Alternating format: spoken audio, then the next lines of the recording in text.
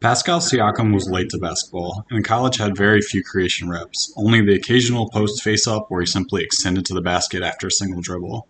It wasn't until his second year in the pros that he got any kind of ISOs and organized basketball, when the Raptors eased him into these reps by focusing on mismatches against bigs where Pascal could use his speed and shiftiness.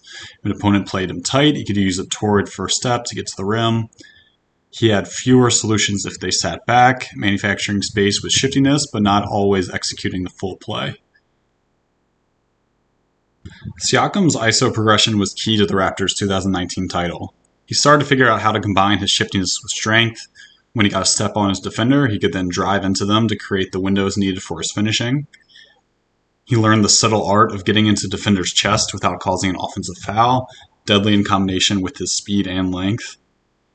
My favorite new driving tactic of Siakam's was his oblique angles. It's tough to stay with Pascal through a possession, but especially if he's inventing space with indirect angles to the basket.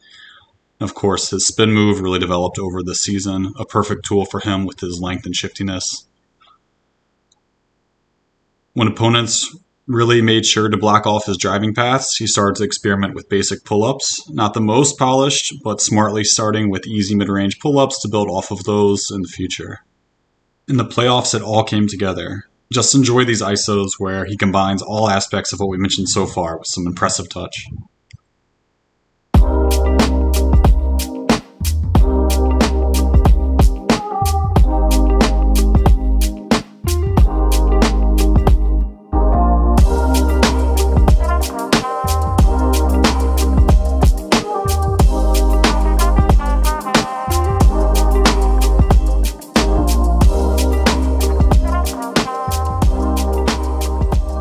Siakam's usage skyrocketed in 2019-20 with Kawhi gone, now up to top 30 in the league to lead the Raptors. He had full runway to get into his possessions earlier, often attacking from above the break with a head of steam. ISOs became Siakam's most common usage, and through reps was able to learn how to gain fouls from the advantages he created with his growing collection of moves. To compensate for this, defenders began to sit deeper to protect the lane, continue to build upon the prior season. He was much more willing to pull up, hunting for them in mid range first, but also extending his range out to three point line. After making only one pull up three in all of 2018 19, he then splashed 51 at 34% shooting the next season. In turn, defenders had to respect that shot as well, biting off of crossovers and hezzies with Pascal then burning with speed. Siakam had so well tailored his craft at this point to create plenty of space from crossovers alone, his most used move for the first time.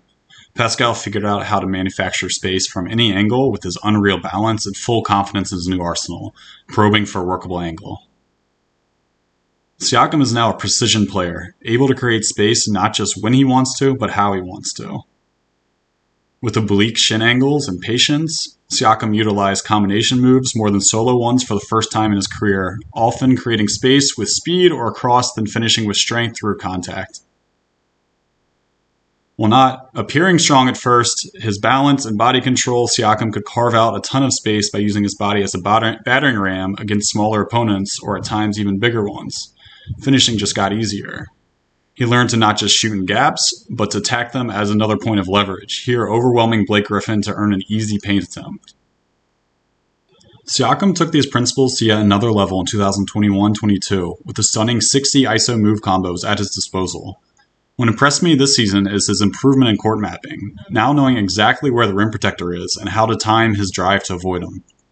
His handle progressed yet again, able to get low to the ground to disguise his moves. His cross into pull up became a staple, more seamless to keep drive optionality until he makes whatever finishing move.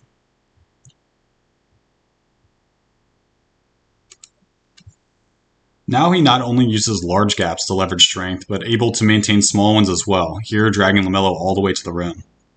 Once again, he advances in his move combos, staying low in his cross to gain the space to then apply strength. He has also gotten excellent at reading when to keep the simple move simple, creating an angle with burst for an easy finish here against Mason Plumlee, or at least an easy finish for someone with Siakam's level of length and touch. He's become much savvier deciding when to shoot versus not, with a much deserved green light whenever he has momentum into the paint. Now a top five in the league in ISO points per game, Siakam knows he only has to comp- capitalize on a single interaction like a shoulder rub after beating his man off the dribble to get the looks he needs. His timing has been most impressive, here spinning right when the lane is vacated. So far in 2022 23, Siakam has figured out how to leverage his scoring not just for himself, but for others, once again attacking pockets with intention, but knowing the defense will collapse. His assists per 100 possessions increased from 7 to 9, translating his spatial awareness from just driving to also knowing exactly where his shooters are and how to prolong the kick into his drive.